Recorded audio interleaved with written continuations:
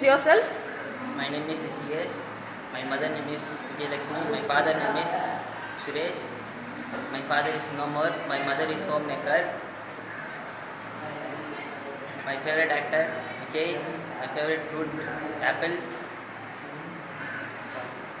What's your hobby?